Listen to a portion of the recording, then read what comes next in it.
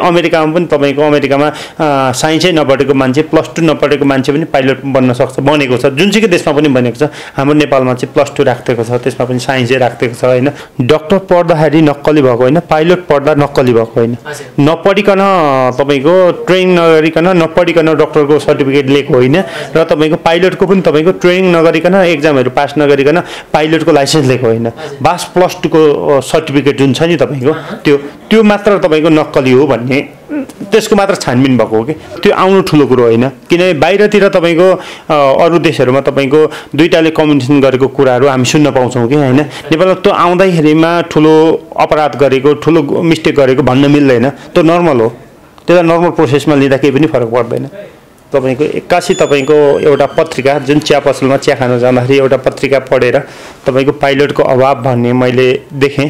त्यसपछि चाहिँ तपाईँको म युटर्न भएर तपाईँको पाइलट पढ्ने इच्छा बढेको मलाई तपाईँको। हुरी हुन्डरीमा पढेर जहाज हाम्रो फ्याँकिदिएको छ होइन त्यो कारणले गर्दा त्यो नर्मल त्यसलाई कन्ट्रोल गर्न सक्नुपर्छ। इमर्जेन्सी केसमा नै त तपाईँको के अरे पाइलटको परिचय थाहा पाउने हो नि। नर्मलमा त जसले नै उडाउन सक्छ नि होइन त्यो कारणले गर्दा नि त्यसमा आत्तिनु पर्ने। त्यो नर्मल आकाशमा तपाईँको कुन बेला के पर्छ भन्ने कुरा त तपाईँको त्यो सामना गर्नको लागि रेडी हुनुपर्छ। क्याप्टेन भइसकेपछि।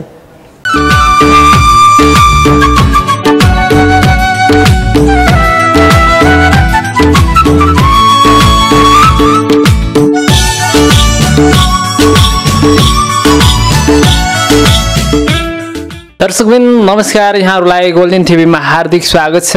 आजको बसाइमा मैले तपाईँहरूमा आज एकदमै विशेष अतिथि लिएर आएको छु। पक्कै पनि नेपाली आकाशमा प्लेन उडाउन माहिर मानिएको पाइलट हुनुहुन्छ आज हामीसँग कुराकानी गर्नको लागि। करिब बाह्र वर्षदेखि नेपाली आकाशमा प्लेन उडाउँदै गर्नुभएको नेपालकै सफल पाइलट उद्धव घिमिरेलाई लिएर तपाईँहरूमा आज आएको छु म। उद्धव सर यहाँलाई गोल्डन टिममा हार्दिक स्वागत छ। धन्यवाद धन्यवाद। आराम हुनुहुन्छ? ठिकै छ। के छ व्यस्तता? करिब चाहिँ तपाईँहरूको आधा समय चाहिँ आकाशमै बिताउनुहुन्छ। व्यस्तता केमा छ अहिले? पछिल्लो समय? उडाउनेमा व्यस्तता छ तपाईँको? होइन कामै त्यही हो। त्यो कारण त्यसमै व्यस्तता भइरहेको छु अहिले। अहिले अरूमा त त्यति बिजी छैन म। यसो नर्मल मान्छेहरू होइन? र चाहिँ उद्धव घिमिरेमा के फरक पाउन सकिन्छ त? एज अ पाइलट फक हिसाबले होइन बाहिर त युनिफर्म लगाएको बेलामा र तपाईँको युनिफर्म नलाएको बेलामा नर्मल मान्छे र ममा एउटै हो। फरक केही पनि छैन। जब युनिफर्म लगाएको बेलामा चाहिँ तपाईँको आइएम अ क्याप्टेन म क्याप्टेन हो। किन भन्दाखेरि मेरो रेस्पोन्सिबिलिटी धेरै हुन्छ तपाईँको। किन भन्दा त्यहाँ तपाईँको मेरो रेस्पोन्सिबिलिटीमा मैले तपाईँको आफ्नो निभाउनुपर्छ। त्यो कारण त त्यति बेला म युनिफर्म र जहाजको ककपिटमा भएको बेलामा म फरक हुन्छु होइन। अरू बेला त नर्मल मान्छे जो सर्वसाधारण जस्तो हो म पनि त्यस्तै नै हो। तपाईँ चाहिँ जो खोटाङ जस्तो विकट जिल्लामा जन्मिनु भयो होइन? अहिले आएर चाहिँ सिङ्गो नेपाली आकाशमा चाहिँ तपाईँले प्रतिनिधित्व गर्दै हुनुहुन्छ। नेपाली आकाशमा प्लेन उडाइराख्नु भएको छ। कहिले सोच्नु भएको छ तपाईँ यो अवस्थामा आउँछु भनेर? मैले पाइलटै भएर यहाँ पुग्छु भन्ने चाहिँ सोचेको थिइनँ तर मलाई के चाहिँ मैले सोचेको थिएँ म ठुलो मान्छे चाहिँ देशको लागि ठुलो मान्छे बन्छु चाहिँ भन्ने मलाई थियो सानैदेखि। भनेपछि अब कुन हिसाबले बन गरिन्छ भन्ने त्यो भोलिको दिनले देखाउँदो रहेछ मेहनतले देखाउँदो रहेछ होइन? एउटा डक्टर पढ्दै गर्नुभएको व्यक्तित्व होइन तपाईँ? एकाएक पाइलटको सेक्टरमा यो क्षेत्रमा चाहिँ कसरी आउनुभयो? म डक्टर पढ्दै गरेको भन्दा पनि डक्टर प्रिपरेसन गर्दै गरेको तपाईँको होइन? प्रिपे इन्ट्रेन्स प्रिपरेसन गरेको मान्छे तपाईँको एक्कासी तपाईँको एउटा पत्रिका जुन चिया पसलमा चिया खान जाँदाखेरि एउटा पत्रिका पढेर तपाईँको पाइलटको अभाव भन्ने मैले देखेँ। त्यसपछि चाहिँ तपाईँको म युटर्न भएर तपाईँको पाइलट पढ्ने इच्छा बढेको मलाई तपाईँको। हामीले आम चाहिँ मानिसहरूको जीवन र पाइलटको जीवनमा चाहिँ के फरक पाउन सकिन्छ त? होइन? आम मानिसको जीवन र पाइलटको जीवन लगभग एउटै नै हो होइन? हामी चाहिँ अलिक बढी चाहिँ तपाईँको आकाशमा अरू मान्छेहरूले चाहिँ तपाईँको जमिनमा बढी बिताउँछन् भने हामीले चाहिँ आकाशमा बढी बिताउनुपर्छ। त्यही फरक त्यति नै हो। जुन सङ्घर्षको क्रममा तपाईँ होइन? जुन पाइलट भनेको त अलिकति पढाइमा पनि खर्चिलो विषय हो। डक्टर पाइलट इन्जिनियर भनेको। होइन? यो स्रोतहरू चाहिँ कसरी जुटाउनु भयो तपाईँले त्यस्तो ठुलो सङ्घर्ष के गर्नुभयो पढाइको हिसाबले? म सामान्य फ्यामिलीको मान्छे हुँ तपाईँको गाउँको किसानको छोरो हुँ। होइन मेरो बुवा अहिले पनि हलै जोति राख्नु भएको छ कृषि नै गरिराख्नु भएको छ। त्यो कारणले गर्दाखेरि तपाईँको त्यति बेला मलाई पढ्नको लागि निकै गाह्रो। निकै गाह्रो भएको थियो तपाईँको। अलिअलि मात्र नै निकै गाह्रो भएको थियो। त्यो कारणले गर्दाखेरि त्यति बेला तपाईँको मैले आफ्नो घरखेत बेचेर तपाईँको पढ्ने इच्छा शक्ति निकालेँ र त्यति बेला मेरो फ्यामिलीले पनि मलाई सपोर्ट गर्यो। त्यो कारण अहिले म सफल हुने यहाँ सफल हुन सफल भएँ भनौँ न। उद्धव घिमिरे होइन? करिब बाह्र वर्षदेखि नेपाली आकाशमा प्लेन उडाइरहेको छ। होइन? के छ? तपाईँले चाहिँ यो क्षेत्रमा लागेर आफूले के पाए जस्तो लाग्छ नि यहाँलाई? मैले यो क्षेत्रमा लागेर अहिले मैले सबै थोक पाइरहेको छु। नाम पनि पाइरहेको छु दाम पनि पाइरहेको छु र मैले जनताको सेवा गर्न पनि पाइरहेको छु होइन? मलाई खुसीको कुरा त्यही नै हो कि? जनताको सेवादेखि लिएर नामदेखि लिएर होइन? सबै मैले देशको सेवा गर्न पाएको छु कि? त्यसमा मलाई एकदम खुसी लागेको छ। पछिल्लो समय चाहिँ होइन भर्खरै मात्र बङ्गाल एयरलाइन्सको सिलगाडी पनि दुर्घटना भएको थियो। त्यस हिसाबले हेर्दाखेरि नेपाली आकाश चाहिँ अलिकति असुरक्षित छ यात्रा गर्नको लागि भन्ने खालको एउटा बुझाइ पनि छ आम जनताहरूमा होइन देश विदेशमा यो बारेमा के भन्न चाहनुहुन्छ तपाईँ? नेपाली आकाश असुरक्षित होइन तपाईँको होइन हाम्रो एयरपोर्टहरूमा फेसिलिटी कम भएको हो। त्यो कारण नेपाली आकाश असुरक्षित छ भनेर म त्यसमा त्यसलाई समर्थन गर्न चाहन्न होइन। त्यो कारण नेपाल आशा आकाश सुरक्षित छ। तर त्यसमा एयरपोर्टहरूमा फेसिलिटीहरू बढाउनु पऱ्यो तपाईँको। इन्टरनेसनल एयरपोर्टहरू बन्नु पऱ्यो तपाईँको। अरू ठाउँ पनि बन्नु पऱ्यो त्यो कारणले एउटा मात्र देशमा एउटा मात्र इन्टरनेसनल एयरपोर्ट हुँदैन तपाईँको। अरू पनि हुनु पऱ्यो त्यो भयो भने तपाईँको ट्राफिकहरू कन्जक्सनहरू कम हुन्छ तपाईँको होइन? त्यो कारणले गर्दाखेरि पूर्वाधारहरू विकास गर्नु पऱ्यो र भर्खरै मात्र भएको जुन दुर्घटनामा होइन? देश विदेशका धेरै व्यक्तित्वहरू चाहिँ दिवङ्गत हुनुभयो एकदमै दुःखद घडीमा पनि छौँ हामी होइन? र त्यस हिसाबले यो दुर्घटनामा होइन? जुन चाहिँ एकदमै संवेदनशील मानिएको जुन ट्राफिक कन्ट्रोलरको जुन एउटा कुराकानी त्यो पनि बाहिरिएको थियो। यो चाहिँ कसरी बाहिरियो तपाईँको विचारमा आज तपाईँ पनि पाइलट भएको हिसाबले के लाग्छ यहाँलाई? कसरी बाहिरिनु बारेमा कसरी तपाईँको बाहिर आयो भन्ने कुरा मलाई थाहा छैन तपाईँको होइन? मैले तपाईँको त्यो भिडियोमा मैले पनि सुनेको हो। त्यो कसरी आयो के आयो भन्ने कुरा चाहिँ मलाई त्यति त्यो थाहा छैन। तर त्यो आउनु ठुलो कुरो होइन? किनभने बाहिरतिर तपाईँको अरू देशहरूमा तपाईँको दुइटाले कम्युनिकेसन गरेको कुराहरू हामी सुन्न पाउँछौँ कि होइन? नेपालमा त्यो आउँदाखेरिमा ठुलो अपराध गरेको ठुलो मिस्टेक गरेको भन्न मिल्दैन। त्यो नर्मल हो। त्यसलाई नर्मल प्रोसेसमा लिँदा केही पनि फरक पर्दैन। र अलिकति तुलनात्मक हिसाबमा हेर्ने हो भनेदेखि होइन? नेपाली आकाशमा चाहिँ अलिक बढी नै प्लेनहरू चाहिँ दुर्घटनामा पर्ने गर्छ नि। के कारणले गर्दा हुनसक्छ मैले भने नि तपाईँको नेपाल ए आकाश तपाईँको अरू देशमा हाइएस्ट पिक भनेको कोकोनट ट्री हुन्छ। बुझ्नु हो नि होइन डाँडा काँडा भनेको कोकोनट ट्री हुन्छ। त्यहाँ बाहिरतिर हेर्दाखेरि सबैभन्दा ठुलो डाँडातिरमा के छ भन्दा कोकोनट ट्री हुन्छ हेर्नुहोस् तर हाम्रोमा त तपाईँको डाँडा काँडाहरू धेरै छ हेर्नुहोस् होइन। होइन त्यो कारण मौसम तपाईँको विदिन तपाईँको मिनटमै चेन्ज हुन्छ। लुक्लातिर पहाडी सेक्टरहरूतिर तपाईँको त्यो कारण हाम्रोमा अब रनवे लेन्थहरू एकदम कम छ तपाईँको। एयरपोर्ट फेसिलिटीहरू कम छ। त्यो कारणले गर्दा अरू देशमा भन्दा हाम्रोमा एक्सिडेन्ट रेट अलिकति हाई हुनु नर्मल हो। बाह्र वर्षदेखि तपाईँ प्लेन उडाउँदै गर्दाखेरि होइन? तपाईँलाई परेका त्यस्तो कुनै अप्ठ्यारा अनुभवहरू तपाईँले भोग्नु भएको होला अवश्य पनि किनभने नेपाल चाहिँ मौसमको हिसाबले पनि अलिकति प्रतिकूल नै छ होइन? र चाहिँ भैरव पोखरा जस्तो चाहिँ प्रतिकूल क्षेत्रमा तपाईँले आफ्नो उडानहरू गरिराख्नु भएको छ। के छ तपाईँ कसरी सम्झिनुहुन्छ? म तपाईँको सुरुमा मैले तपाईँको नौ वर्ष त लुक्ला र जमसुङबाट फ्लाइट गरेको। तपाईँको वर्ल्डको डेन्जरस एयरपोर्ट लुक्ला छ। त्यसमै मेरो तपाईँको दुई हजारभन्दा बढी चोटि त्यहाँ ल्यान्ड गरेको छु मैले होइन। त्यो कारणले गर्दाखेरि तपाईँको पोखरा भैरवा सिमरा अहिले मैले नेपाल एयरलाइन्समा आएपछि त्यहाँ फ्लाइट गरिरहेको छु।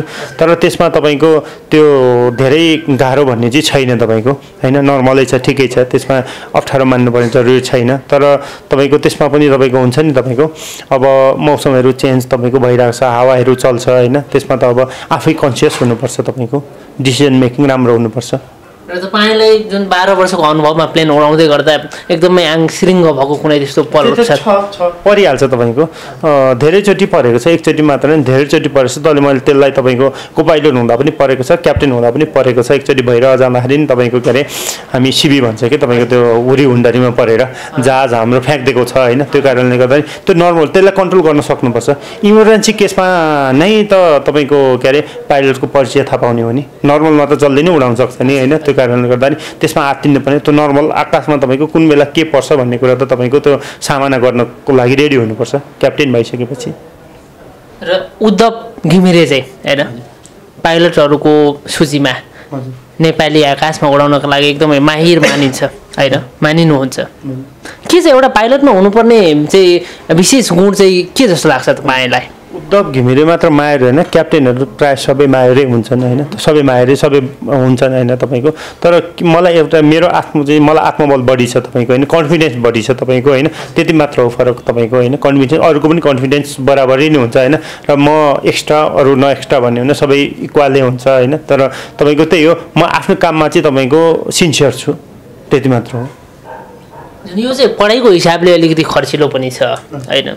पढिसकेपछि जागिर नपाइला भने अर्को खालको तनाव पो छ होइन?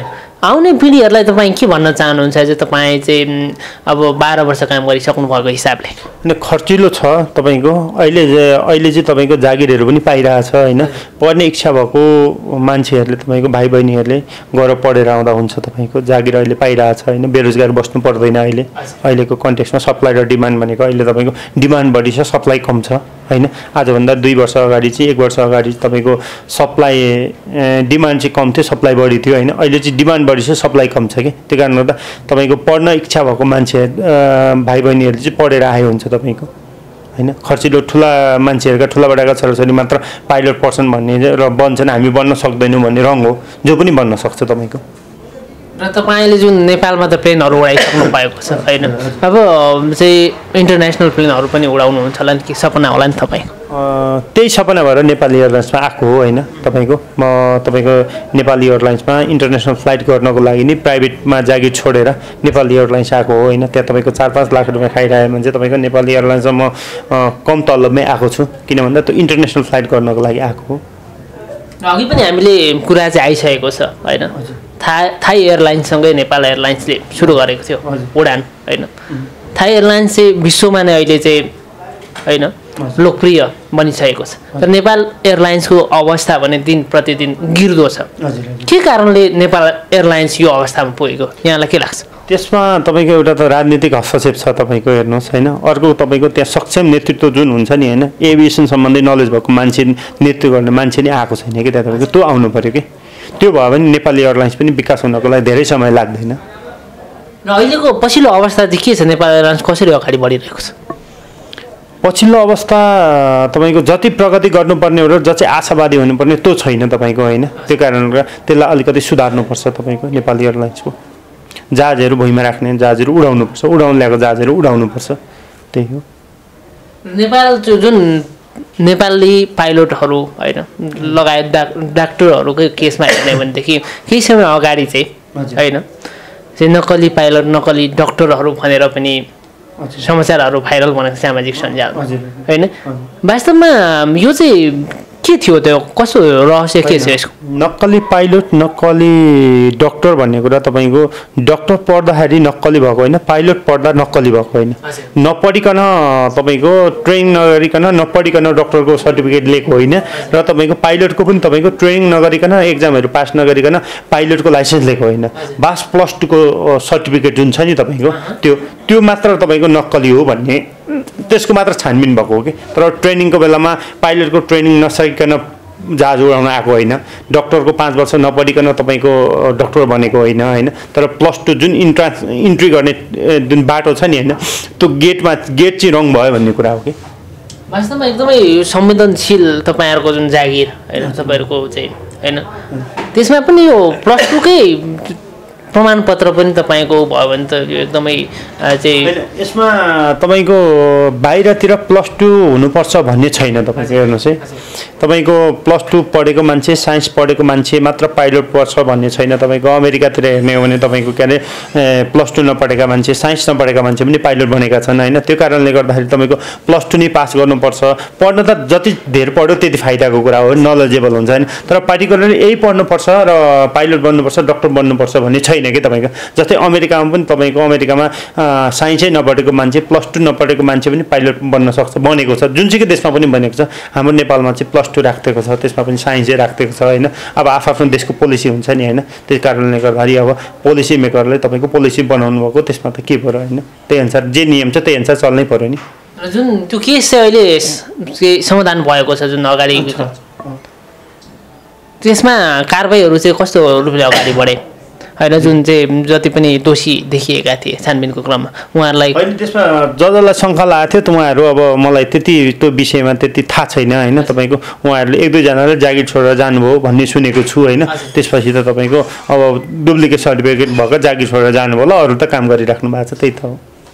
र हामी लगभग यो चाहिँ ऐतिहासिक कुराकानीमै छौँ होइन? तपाईँले जुन बाह्र वर्षदेखि प्लेन उडाइराख्नु भएको छ यहाँलाई सबैभन्दा उत्साहित रमाइलो लागेको जुन कुन क्षेत्रमा चाहिँ प्लेन उडाउँदा तपाईँलाई एकदमै उत्साहित हुनुभयो। मलाई प्रत्येक पाइला पाइलामा प्रत्येक फ्लाइटमा प्रत्येक सेकेन्डमा र जुनसुकै सेक्टरमा पनि म उत्साहित तरिकाले नि तपाईँको उडाउँछु। यो बेलामा उत्साहित हुने ऊ बेलामा अउत्साहित हुने भन्ने हुन्न होइन? तपाईँको आकाशमा जब तपाईँको म ककपिटमा बसि बसि बस्छु होइन? ककपिटमा बसिसकेपछि म तपाईँको एकदम उत् उत्साहित हुन्छु। म एकदम तपाईँको म आफ्नो कामप्रति हुन्छ नि तपाईँको होइन? एकदम इमान्दारी उत्साहित भएर नि काम गर्छु तपाईँको। किनभने त्यहाँ त तपाईँको धेरै मान्छेको तपाईँको त्यो लाइफको सवाल छ नि। त्यो त्यसो त्यो कारण म स्याड भएको छु मलाई टेन्सन भएको छ भने म तपाईँको फ्लाइटै गर्न जान्न। र लगभग चाहिँ तपाईँ होइन खोटाङ जस्तो विकट जिल्लामा जन्मेर आज यो अवस्थामा आउनुभएको छ। सिङ्गो नेपाली आकाशमा तपाईँले चाहिँ बाह्र वर्षसम्म योगदान गर्नुभएको छ होइन? यसको श्रेय यो यो दिनमा यो अवस्थामा आइपुग्दा उद्धव घिमिरेलाई हेर सबैभन्दा ठुलो प्रेरणाको स्रोत चाहिँ को भन्न सक्नु होइन सबैभन्दा मेरो ठुलो प्रेरणाको छ त मेरो फ्यामिली नै हो होइन? फ्यामिलीले सपोर्ट नगरेको भए त तपाईँको म यो ठाउँमा आउनै सक्दिनँ थिएँ होइन? त्यो कारण त यसको श्रेय त मेरो फ्यामिलीलाई नि दिन्छु म। र यहाँलाई धेरै धेरै धन्यवाद यो व्यस्तताको बावजुद हामीलाई महत्त्वपूर्ण समय दिनुभएको छ। यहाँलाई धेरै धेरै धन्यवाद सर धन्यवाद। नमस्कार मलाई पनि आफ्नो शब्दहरू राख्न दिनुभएकोमा तपाईँलाई म एकदम धन्यवाद प्रकट गर्न चाहन्छु।